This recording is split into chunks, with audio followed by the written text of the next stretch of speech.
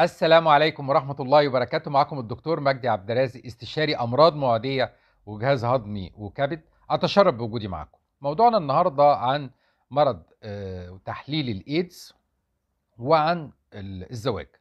في بعض الشباب آه، بيمر بتجارب زي علاقات آه، جنسية ما قبل الزواج وطبعا علاقات خارج إطار الزواج غير علاقات غير شرعية. وبينسى هذا الموضوع ويجي قبل الزواج يتم فحصه آه، ويتم فحص الاتش اي في ويفاجأ إن هو آه، إيجابي. طيب إيه الحل؟ هل هذا الشاب ممنوع من الزواج؟ هل غير مسموح ليه بالزواج سواء كان من الناحية القانونية أو الاجتماعية؟ إحنا بنحب ننبه ونوعي الشباب طبعا على إن هذه العلاقات الجنسية دي علاقات خطرة وممكن آه، تؤدي إلى إنك أنت تصاب بأحد الأمراض الجنسية زي الزهري زي فيروس بي الكبدي زي الاتش آي في. وبالتالي آه، إحنا بنحذرك وبنوعيك آه، إنك أنت تبتعد عن هذه العلاقات الخطيرة. طيب افرض إنك أنت طلعت إيجابي. هل مسموح ليك بالزواج؟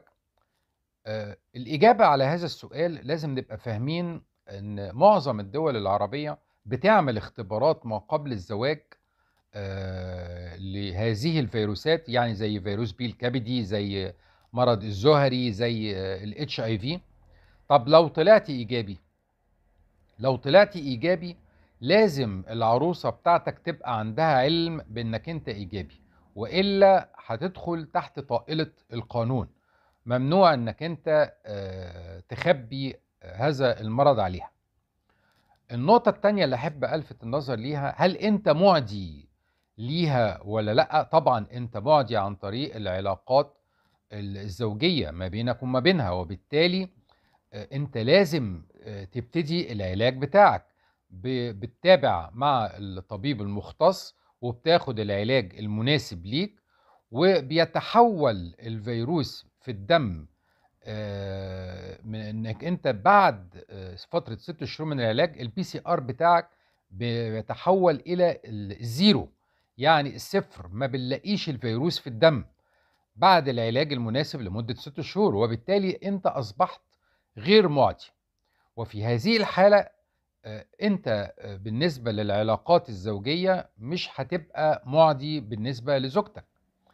طيب آه طب وفي خلال الفترة اللي هي الست شهور الأولانية ديت ممكن الزوجة آه لو هي هتتزوجك وعارفة إنك أنت عندك HIV مفيش أي مشكلة ممكن تاخد علاج وقائي. وطبعا لازم استعمال ال- الواقي الذكري آه، على أساس نمنع حدوث أي عدوى للزوجة. وطبعا زي ما قلت الزوجة هتاخد علاج وقائي. لغاية لما انت ال PCR بتاعك يبقى zero يعني انت آه، بتستمر على العلاج. ساعات في بعض الحالات بتطول. ممكن من ست شهور ممكن تقعد سنة أو أكتر. ال PCR بتاعك آه، لازم يتحول إلى ال zero عشان نبقى مطمئنين تمام الاطمئنان إنك انت غير معدي. طيب اذا من الناحية القانونية والاجتماعية لازم العروسة أو الزوجة تبقى عارفة إنك أنت آه، إيجابي لل HIV لو وافقت على الزواج مفيش أي مشاكل خالص بتتزوج وده قرارها مفيش أي مشكلة خالص مفيش ما يمنع من الزواج. طيب آه، مهم جدا إن إحنا نبقى فاهمين إن هذا المرض زي ما قلت لكم من ضمن الأمراض الجنسية وبينتقل عن طريق العلاقات الجنسية وأيضا بينتقل عن طريق الحقن الملوثة بالنسبة للمدمنين المخدرات. مهم جدا أيضا إن إحنا نعمل لو طلعت إيجابي آه، قبل الزواج لازم نعمل الفحوصات الخاصة أيضا بمرض ال- الزهري ومرض فيروس B الكبدي عشان نطمن على الحالة الصحية بتاعتك. وأيضا بنعمل اختبار السي دي 4 على أساس نشوف المناعة بتاعتك آه، أخبارها إيه وبنعمل اختبار ال PCR عشان نشوف عدد الفيروسات الكمي في المليمتر المكعب آه، وبنطمن. طبعا أول ما ابتديت العلاج المناسب آه، حالتك بتتحسن مفيش أي مشكلة بالنسبة لك بالنسبة لل للزواج مفيش أي مشاكل. طبعا حكاية وصمة العار والخوف إنك أنت ما تتجوزش ومحدش يوافق عليك وازاي هتقول للعروسة بتاعتك كل هذه التساؤلات اللي بتدور في ذهنك؟ آه، طبعا آه، مهم مناقشتها مع ال- ال- العروسة والصراحة مطلوبة جدا ما بينك وما بين ال- العروسة بتاعتك على أساس لو هي وافقت مفيش أي مشكلة اطلاقا بالنسبة لموضوع الزواج. طبعا آه، من خلال التجارب شفنا حالات تزوجت من شخص آه، إيجابي للاتش اي في مفيش أي مشاكل وبيحصل نوع من أنواع المتابعة وحالتهم الصحية كويسة جدا مفيش والحياة بت- بتستمر وفحص ال PCR بتاعه بعد كده بعد العلاج بيبقى zero وبيبقى غير معدي وحتى آه، العلاقات الزوجية بتبقى عادية لما بيكون آه، الشخص ال PCR بتاعه zero. يعني ممكن آه، يبقى علاقاته بدون آه، واقي ذكري لأن هو غير معدي لكن مهم طبعا المتابعة مع الطبيب ال- المختص.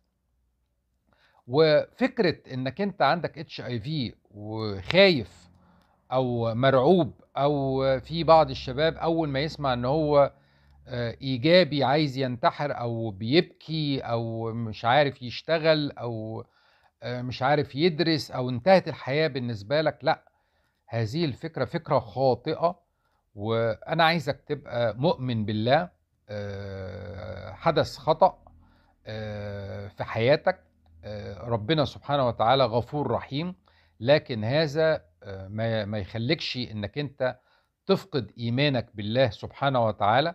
مفيش أي مشكلة خالص ال- ال- المرض له علاج آه، وإن شاء الله في خلال ال- السنة اللي جاية أو السنة اللي بعديها يتم اكتشاف علاج شافي نهائي لهذا المرض. آه، أنا عايزك تبقى آه، مطمن آه، ومؤمن وتاخد العلاج بتاعك وتبقى عارف إن مفيش أي مشكلة بالنسبة للزواج لكن لازم الزوجة يبقى عندها علم. آه، مهم جدا جدا الحكاية دهيت. وإن آه، ال- الصراحة والوضوح طبعا مطلوبة ما بين الزوجين لأن طبعا أنت ممكن تعدي الزوجه وطبعا أولادك ممكن يصابوا بهذا ال- المرض. فلازم تكون صريح وواضح. آه، المهم آه، إن لازم تبقى فاهم إن ال- العلاج بتاع هذا المرض بيحقق نتائج ممتازة جدا جدا ونسب شفاء عالية جدا جدا. وزي ما قلت لك آه، صحيح الفيروس ما بيختفيش نهائيا من جسمك لكن الدم بتاعك بيبقى آه، بعد ست شهور تقريبا زيرو من الفيروس يعني صفر من الفيروس وبتبقى غير معدي. طيب بالنسبة آه، للتواصل مهم جدا إنك أنت تبقى على علاقة بالطبيب المختص بتاعك على أساس إنك أنت تبقى فاهم إيه طبيعة المرض وإيه اللي ينقل المرض وإيه اللي ما ينقلش المرض أنا هسيب الواتس بتاعي آه، لو في أي استفسارات آه، صفرين اتنين زيرو عشرة سبعة وعشرين تمانية وعشرين أربعة سبعة سبعة تمانية. آه، أشكركم جزيل الشكر والسلام عليكم ورحمة الله وبركاته.